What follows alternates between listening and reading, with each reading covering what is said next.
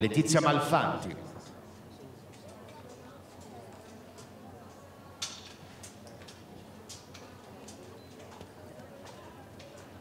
On a vu son père tout à l'heure s'est lancé en premier, il est pour l'instant troisième. Philippe Putala est là. On accueille donc le fils Jesse Putala associé à Forgina pour la Suisse.